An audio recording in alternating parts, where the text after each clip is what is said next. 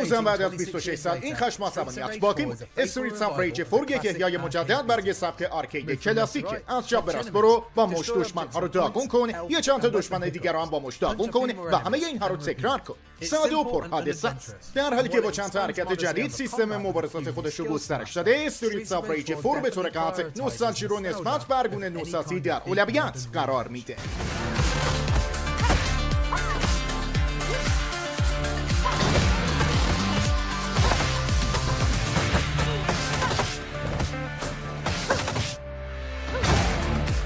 داستان بازی خیلی ساده است و همونطور که می‌شد انتظار داشت پیش پا افتاده. است اما به شکل کاملا زیبایی در قالب و استایل کتاب‌های مصور کمیک ارائه شد خانم آقای وای که فرزندان دوقلوی آقای ایکس شروع هستن. آدمای بد بازی هستن. و هدف شیطانی اونا اینه که کنترل شهر رو بر عهده بگیرن در حالی که شباهت زیادی با آدم های فرگ اسکات هم همه چیز خیلی احمقانه به نظر میاد. اما یه جورایی احمقانه که خودشون هم می‌دونن دارن خودشون رو جدی نمی‌گیرن.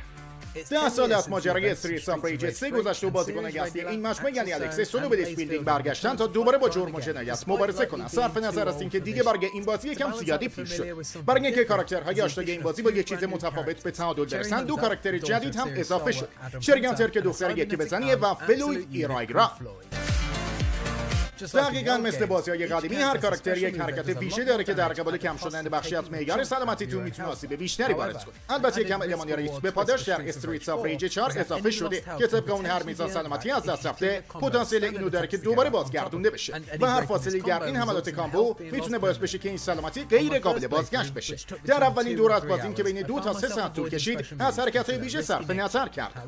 اگرچه همین که قلق combo دستم اومد کم کم شروع کردم و تقریبا به طور مداوم از اونها در موقعیت های استفاده کردن.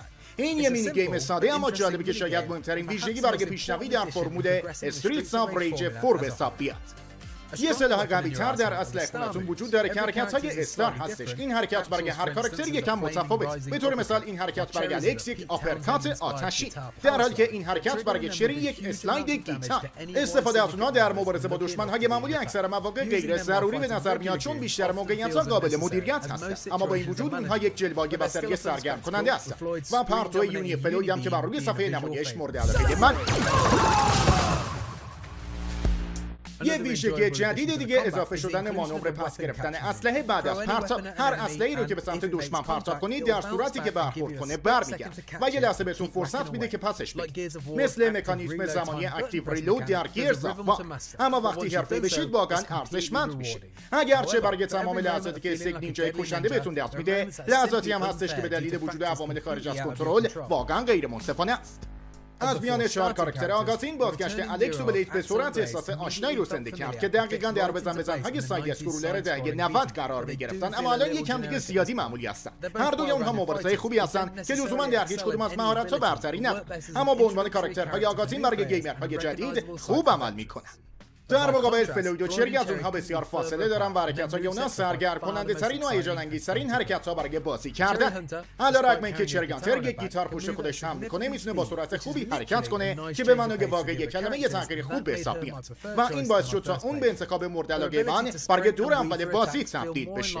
توانایی اون در دویدن و عبور کردن از بوی حمله ها دقیقا همون چیزی که از استریتس آف ریج مدرن انتظار داشتم فلوید یواشترین کاراکتر هستش اما خیلی زود خوشحال شدم که این صورت پایین با قدرتش جبران شد. توانایی اون در پرتاب کردن دشمن است مثل یک عروسک رکدال در نهایت دل منو به دست برد و باعث شد که اون رو هم امتحان کنه.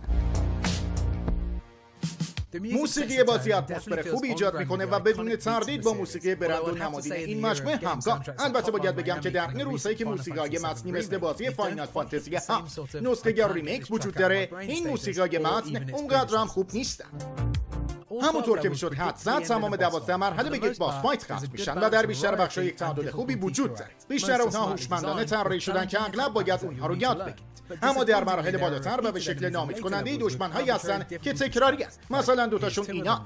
اما در حالت کلی دشمنان یک ترکیب خوب از دشمنهای قدیمی و جدیدن که احساس نامتناسب بودن رو القا نمی‌کنه.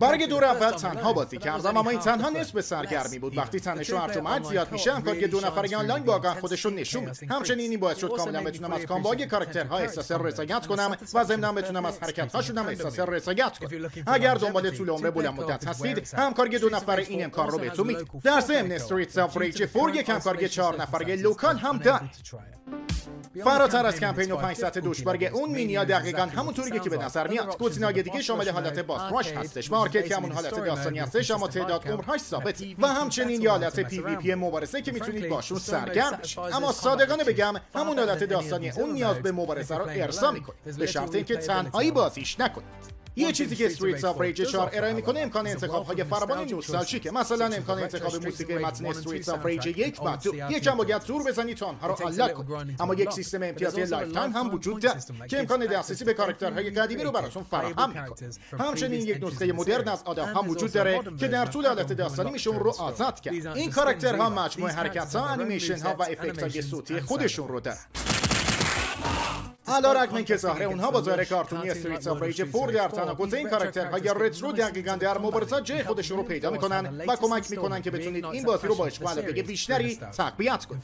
در حقیقت اونها اونقدر با دقت دوباره ساخته شدن که کاراکترهای Streets of Rage One به شکل آزاردهنده ای حتی حرکت ویژه ندارن. و تنها حرکت های star اصلی خودشون در همون بازی قبلی در نتیجه با این سیستم ریسک به پاداش جدید جور در یه جوره موضوع در تمام بازی مثل یک استعاره به نظر میاد به جای اینکه قدم های بزرگ برای مدرنیزه کردن. این بازی برداشته بشه. سرسختانه به گذشته بازی چسبیدن Streets of Rage Four بهترین چیزها در مورد بازی کلاسیک این مجموعه رو ارائه می‌کنه و وقتی با دوستاتون بازی کنید بهتر خودشون نشون. در این صورت این بازی کاملا موفق ظاهر شد در حالی که این بازی بر روی چند تا مکانیزم جالب و جدید اتکا می‌کنه. برای اطلاع بیشتر از بازی بزن بزن مثل Streets of Rage Four در عصر بازی با ما همراه باشید